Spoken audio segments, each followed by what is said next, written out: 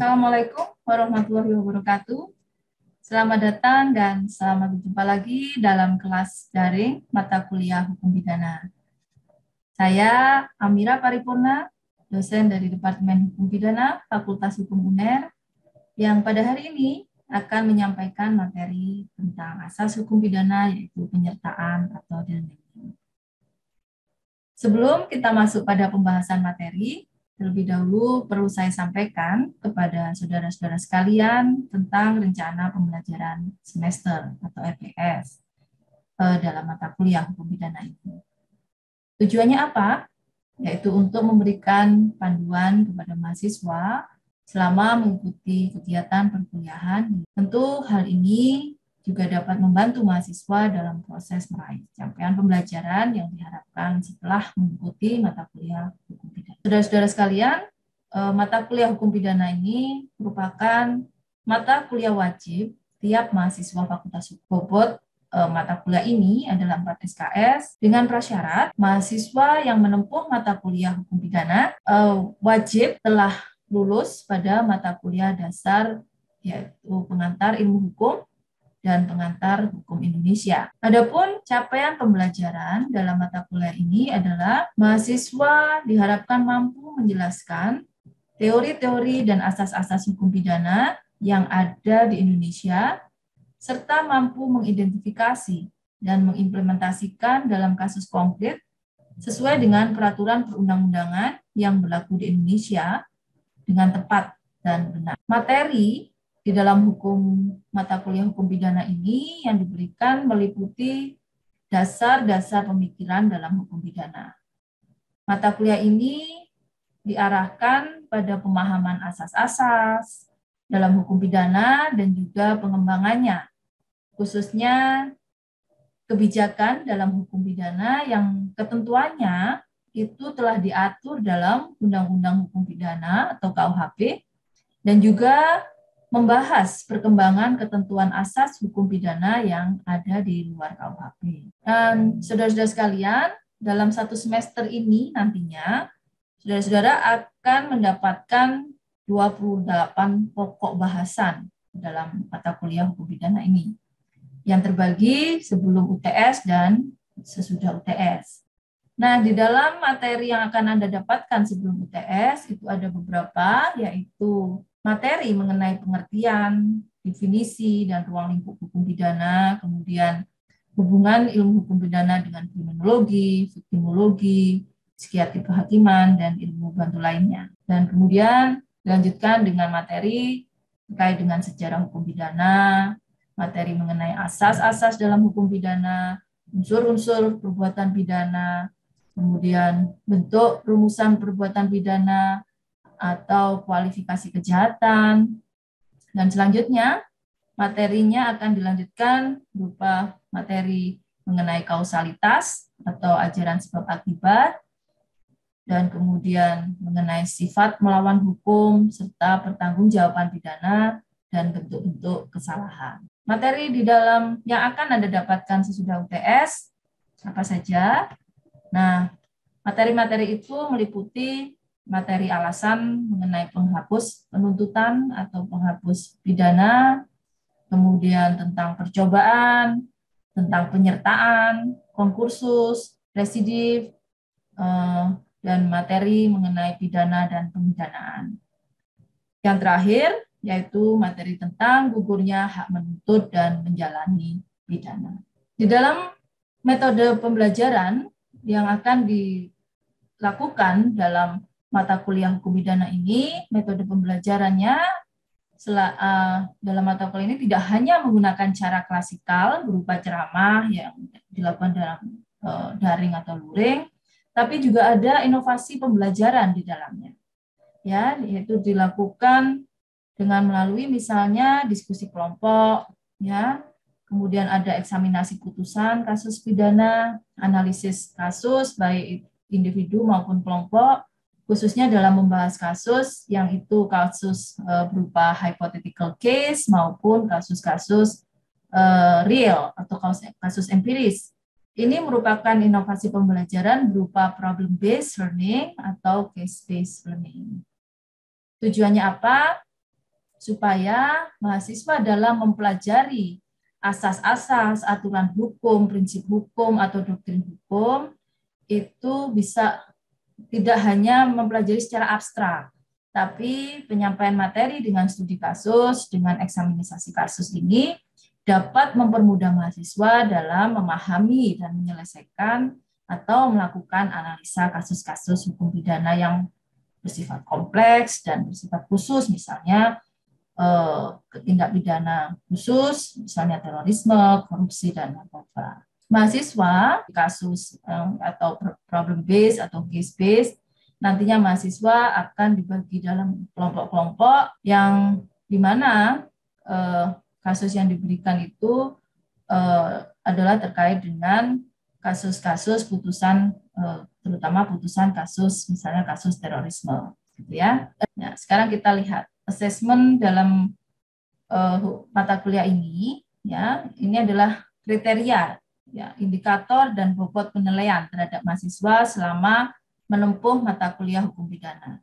Jadi assessmentnya adalah berupa ada ujian tengah semester dan ada ujian akhir semester yang dilakukan secara tertulis ya dengan sifat open book. Berapa persentasenya? Persentase nilai besaran nilai yang akan diberikan untuk UTS itu sebesar 35 persen dan 45 persen untuk ujian akhir semester. Di, di mata kuliah ini penilaian soft skill juga dimasukkan yang itu besarannya adalah sebanyak 20 persen. Dari mana penilaiannya? Ini dinilai dari hasil studi kasus yang Anda kerjakan, kemudian hasil eksaminasi putusan, serta keaktifan mahasiswa, baik individual maupun di dalam kelompok. Aspek apa sih sebenarnya soft skill yang dinilai?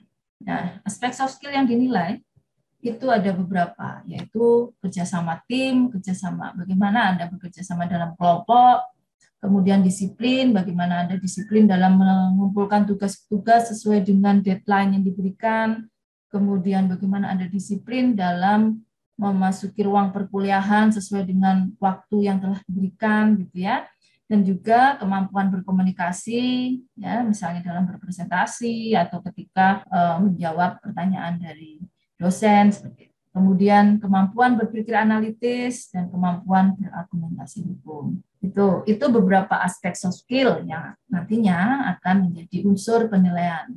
Saudara, tentu ketika Anda masuk dalam ruang kuliah ini, ikut dalam mata kuliah ini, harapannya Anda tidak mengikuti dengan pikiran kosong gitu ya. Jadi harapannya Anda sudah uh, membaca terlebih dahulu uh, bahan-bahan bacaan yang telah disarankan. Jadi dalam mata kuliah ini ada beberapa bacaan wajib dan bacaan pilihan. Bacaan wajib di antaranya buku eh, prinsip-prinsip hukum pidana karangan dari Prof. Didi Endro Purwoleksono, juga eh, karangan dari Prof. Edi Hiraj, kemudian ada juga dari Prof. Bambang Purnomo, Prof. Badran Nawawi Arif, dan juga buku Prinsip-Prinsip Hukum Pidana, Hukum Pidana 1, 2, 3, karangan dari Van Bemelen, dan juga ada satu buku wajib, yaitu karangan dari tim uh, Departemen Hukum Pidana, yaitu karangan dari Amira Paripurna dan eh, kawan-kawan uh, di Departemen Hukum Pidana. Kemudian ada juga beberapa bahan pilih, bacaan pilihan, misalnya uh, dari Han Bing Xiong, kemudian Joko Prakoso, ya, dan Edi Yuniarto. Nah, itu beberapa bahan-bahan bacaan pilihan yang bisa Anda pelajari untuk memperkuat pengetahuan Anda ketika mengikuti mata kuliah. Nah, tadi sudah disebutkan, salah satu inovasi pembelajaran adalah dengan case based approach dan problem based uh, learning. Nah, dalam pembelajaran tersebut, pendekatan pembelajaran tersebut, Anda akan nantinya akan dibagi dalam kelompok-kelompok, ya.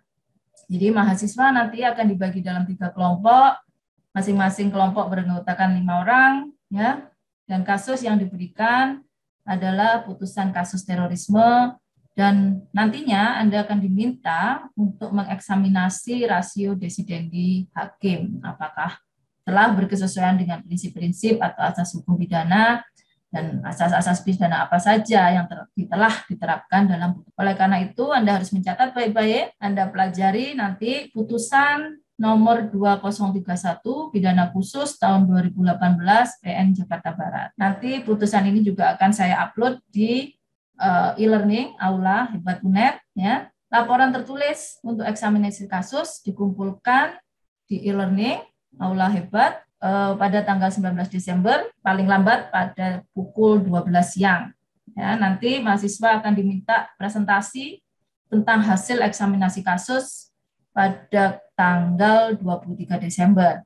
Ya, masing-masing kelompok itu melakukan presentasi selama 20 menit. Sebelum melakukan presentasi, PowerPoint sudah wajib dikumpulkan pada tanggal 21 Desember dan bisa dikumpulkan melalui uh, aula hebat UNER. Nah, sekarang bagaimana dengan tugas individu?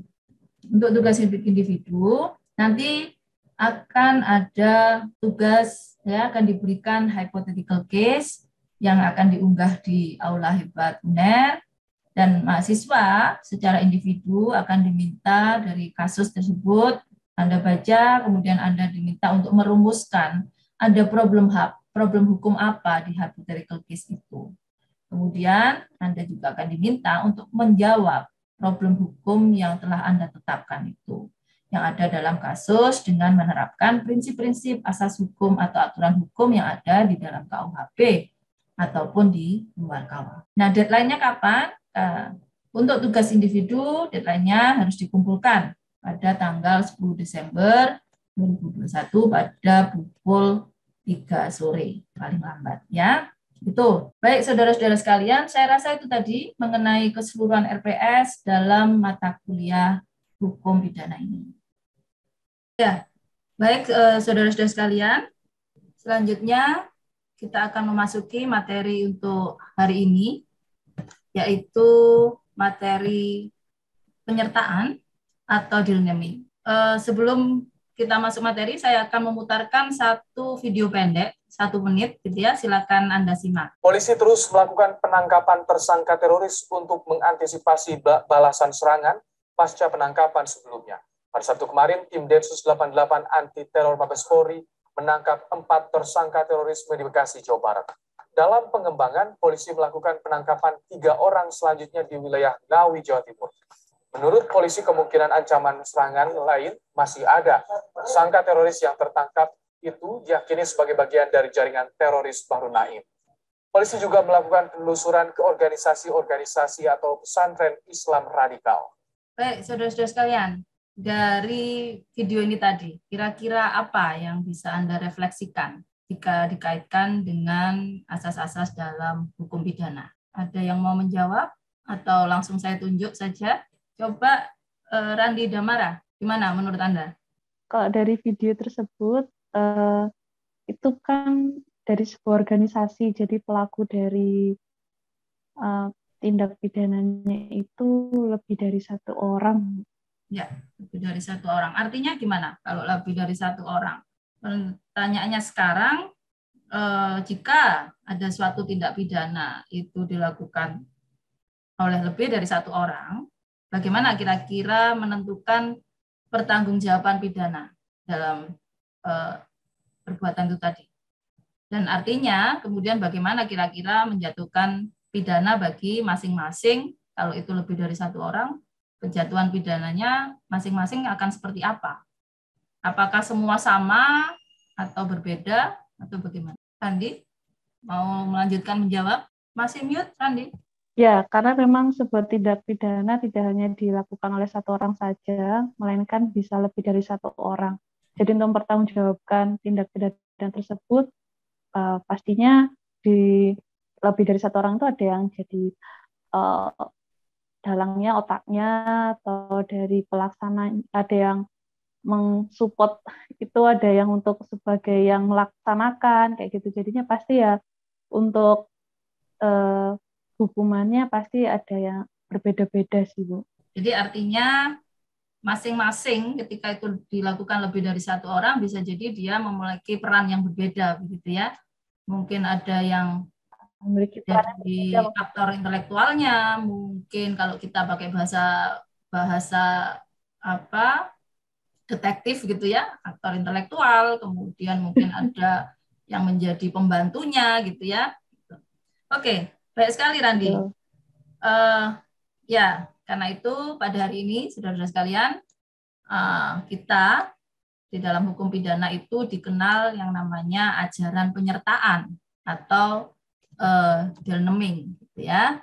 Nah, penyertaan itu merupakan sebenarnya merupakan terjemahan dari bahasa Belanda ya yaitu deelnemen yang diterjemahkan artinya dengan kata menyertai ya ada juga yang mengartikan dengan istilah yang mengambil bagian atau e, bisa juga diartikan semacam berpartisipasi yang kalau umumnya dewasa ini di kita kenal pendapat Prof. Mulyatno itu menerjemahkan penyertaan, gitu ya.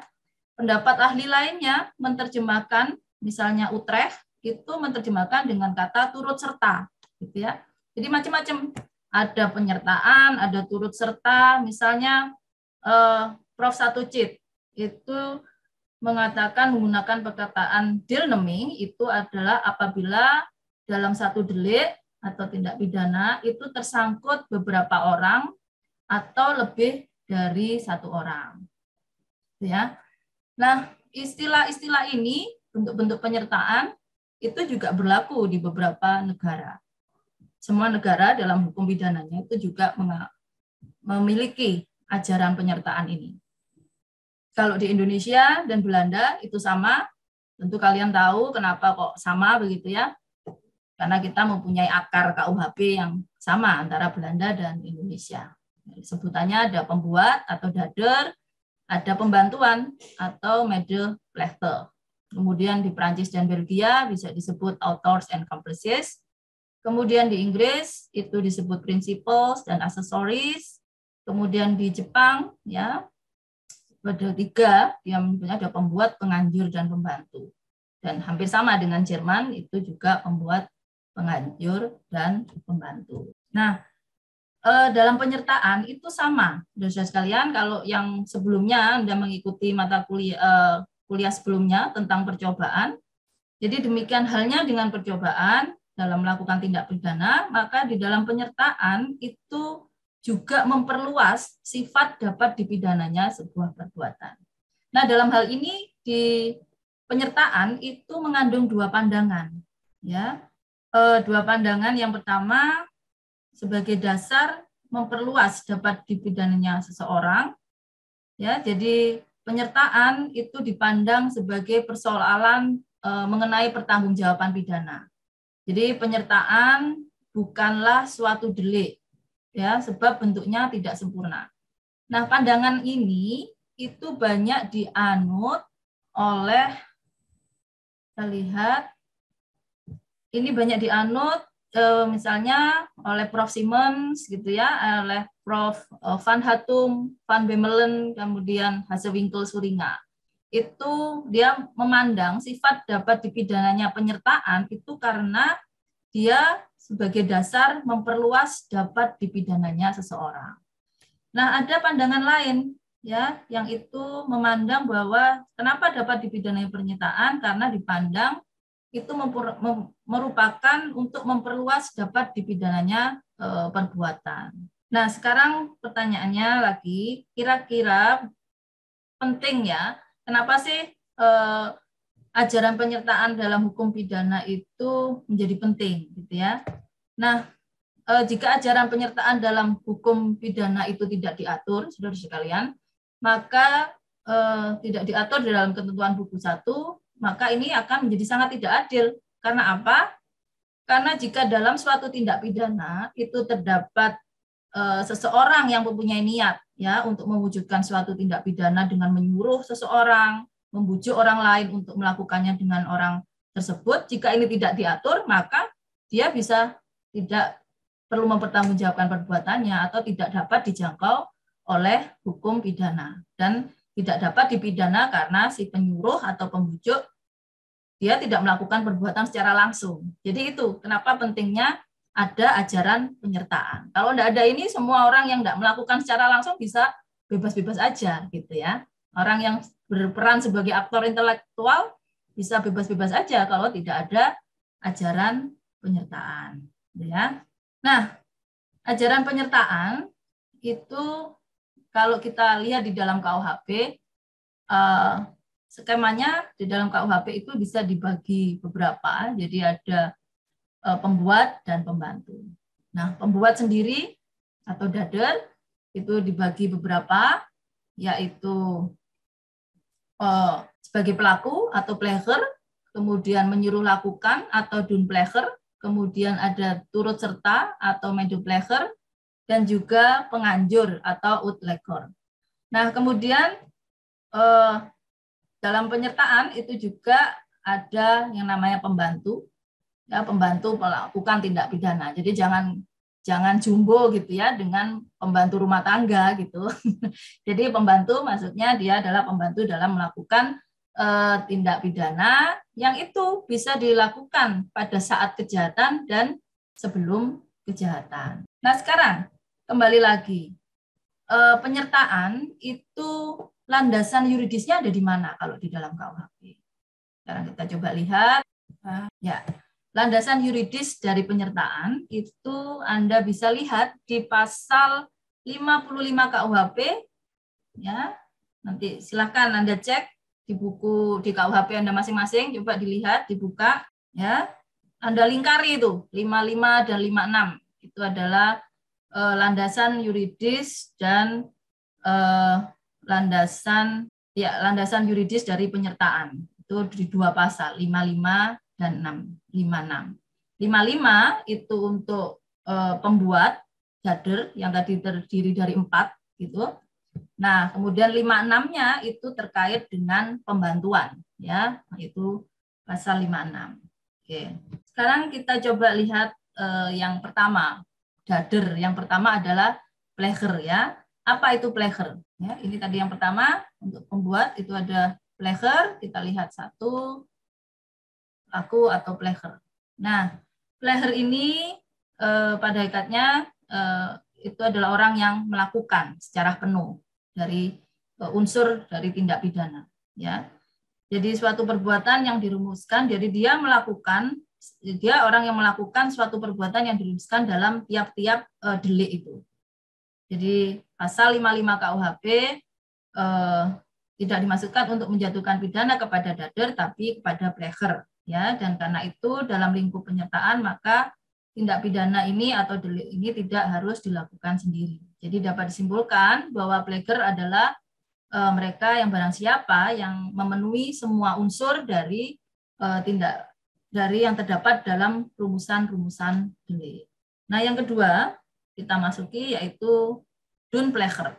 Apa itu dun pleger? Itu adalah yang menyuruh lakukan. Ya yang menyuruh melakukan cirinya itu eh, dia melakukan perbuatan dengan perantara orang lain. Kemudian yang kedua, perantara yang dia gunakan ya itu hanya sebagai dalam tanda kutip sebagai alat. Ya, jadi dia eh, yang melakukan dan pembuatnya ya atau alat ini adalah orang eh, atau sesuatu yang tidak bisa eh, dipertanggungjawabkan. Jadi eh, yang dimaksud dengan orang yang menyuruh lakukan adalah dia seseorang yang berkehendak untuk melakukan suatu tindak pidana tetapi tidak melakukan sendiri dan dia menyuruh orang lain untuk melakukannya. Nah, syaratnya orang yang melakukan tadi atau alatnya itu uh, adalah orang yang tidak dapat bertanggung jawab atau tidak dapat dipertanggungjawabkan. Jadi eh, karakteristik dari Dunpleger itu ada dua, yaitu pembuat langsung atau manus ministra, ya orang pembuat langsung, dan pembuat eh, tidak langsung atau manus domina. Nah, alat atau manus ministra itu bisa yang digunakan adalah manusia, itu kemudian alat yang digunakan itu eh, berbuat sesuatu bukan mati, itu kemudian alat yang dalam tanda kutip alat dalam tanda kutip yang digunakan tidak dapat dipertanggungjawabkan. Nah, alat yang tadi dipergunakan oleh yang menyuruh lakukan itu bisa jadi dia masuk dalam kategori pasal 44, pasal 48 dan pasal 51 ya. Jadi bila alat itu sesat ya kemudian mengenai salah satu unsur deliknya misalnya A menyuruh B untuk eh, mengambil uang rekening di milik C.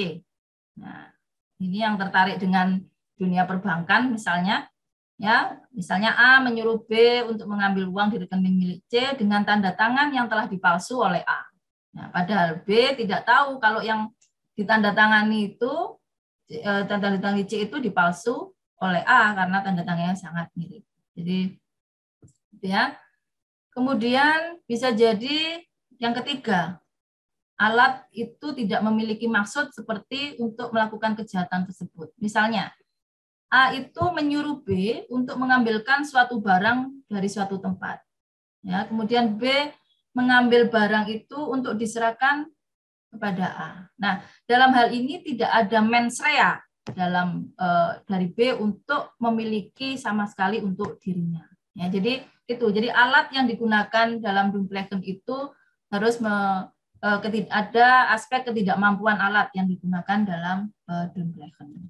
Nah, sekarang uh, kita lihat ada contoh kasus. Ini ya, nanti Anda lihat uh, A misalnya. Si A ini uh, ingin menguasai harta waris dari kakeknya yang uh, sudah tua dan memiliki penyakit jantung. Ya, untuk melaksanakan niatnya, A menyuruh keponakannya untuk yang masih berumur lima tahun itu untuk mengagetkan kakeknya yang sedang tidur Nah, kemudian keponakannya ini benar-benar keponakan yang masih berumur lima tahun tadi benar-benar mengageti si kakek.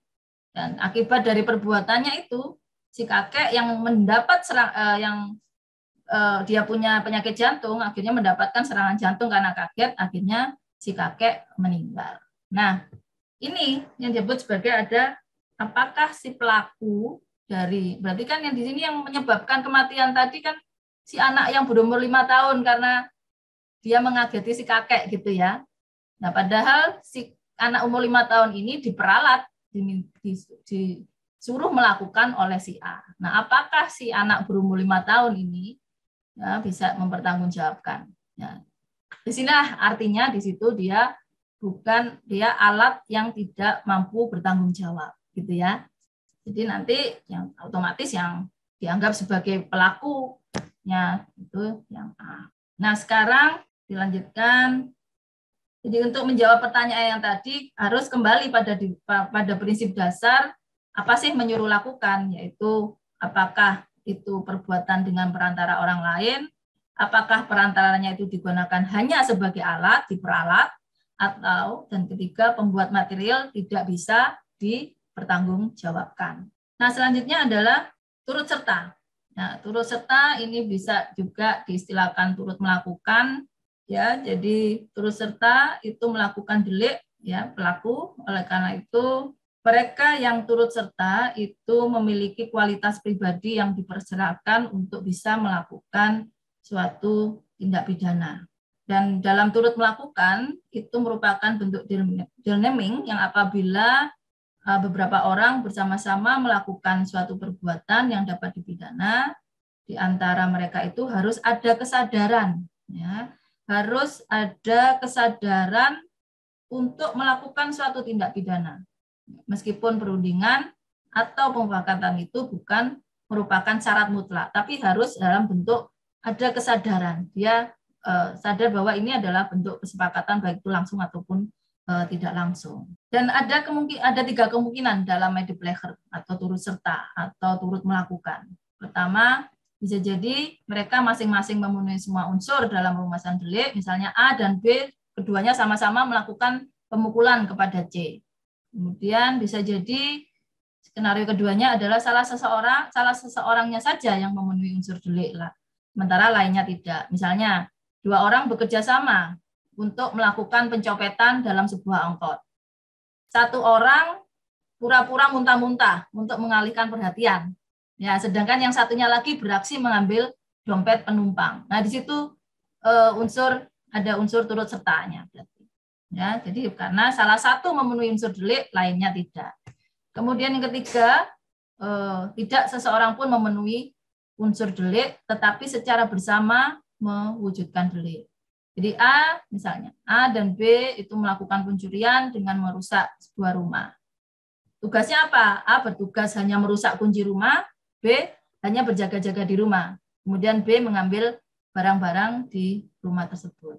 Ya, jadi tidak secara keduanya tidak sama-sama keseluruhan tidak memenuhi unsur delik secara uh, keseluruhannya gitu. Jadi ini ada tiga kemungkinan dalam medupleher. Ya, jadi tadi uh, secara singkat bisa kita bilang turut serta syaratnya adanya kerjasama sadar dan juga ada pelaksanaan bersama. Di kerjasama secara sadar di sini tidak berarti harus ada pemufakatan, tapi sudah cukup bila ada pengertian antara orang yang melakukan kejahatan dan yang melakukan suatu perbuatan dengan uh, tujuan sama. Nah, tapi Anda harus ingat, tidak ada turut serta jika ada perbedaan tujuan atau kehendak. Misalnya, yang satu menginginkan penganiayaan terhadap B, tapi yang satunya menghendaki B itu sampai mati. Nah, itu artinya sudah tidak ada turut serta karena yang satu sama lain mempunyai tujuan yang berbeda. Kemudian eh, pelaksanaan bersama.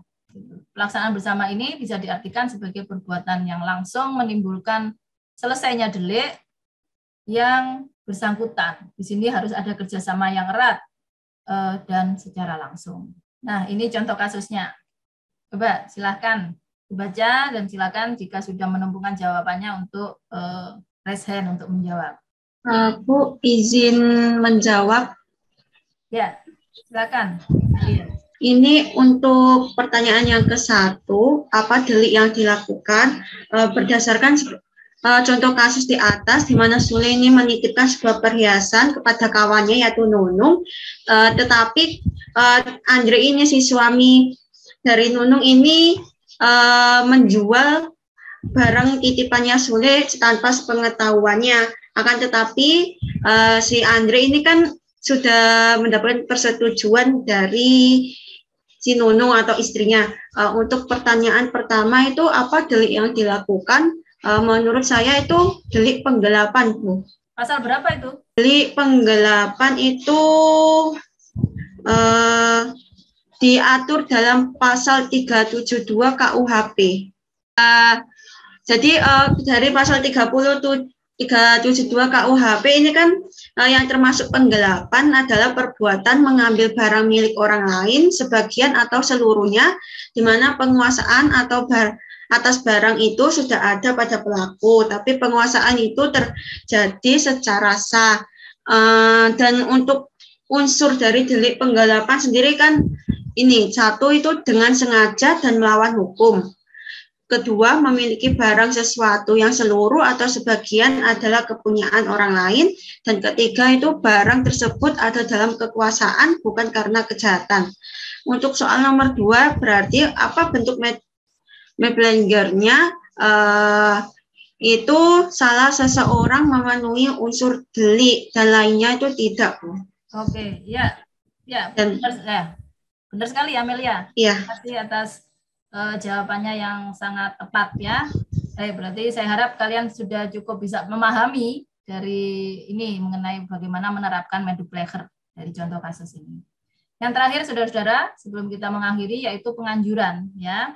Jadi penganjuran untuk seperti halnya bentuk penyertaan dan medipulation, maka penganjuran ini merupakan bentuk penyertaan, yaitu terdapatnya dua orang atau lebih.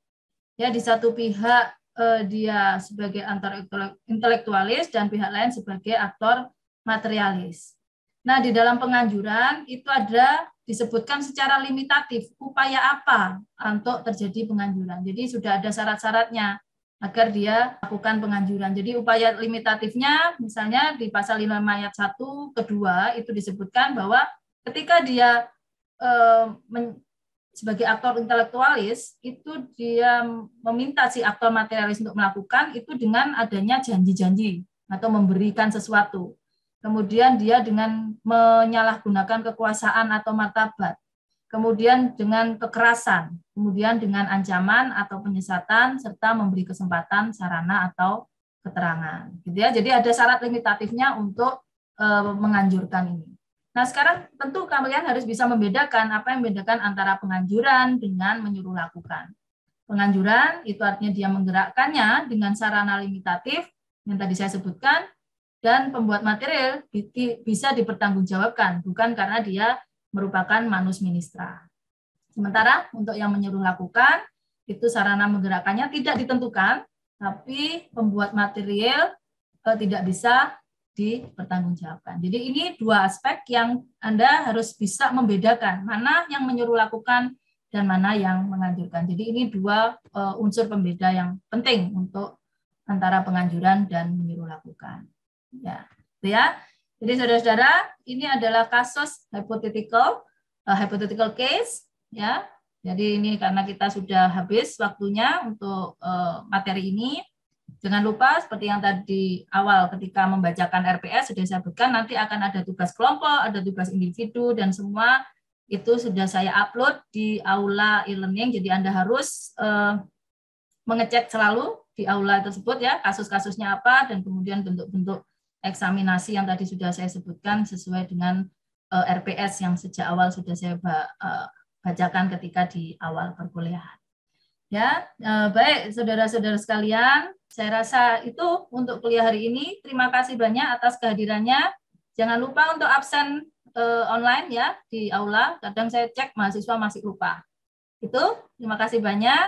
Eh, atas kehadirannya dan eh, keaktifannya. Assalamualaikum warahmatullahi wabarakatuh.